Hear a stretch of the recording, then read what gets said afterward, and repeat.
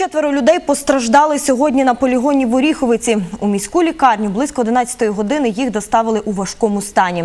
Про це сказав хірург Ужгородської центральної міської клінічної лікарні Євген Смириковський.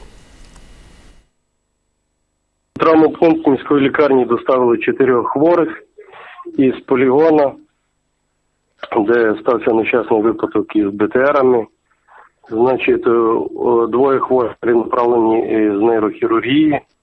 В одного хворого травма голови і забій грудної клітки, у другого хворого травма голови, перелом лівої лопатки, третього хворого е, перелом променевої кістки зліва із зміщенням, е, зроблена репозиція, поставлений гіпс та перелом шийки правого стегна.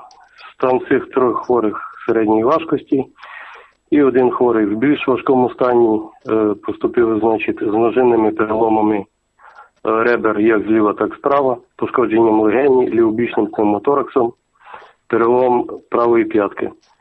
Хворому надана допомога, поставлено дренаж побілав у ліву плевральну порожнину.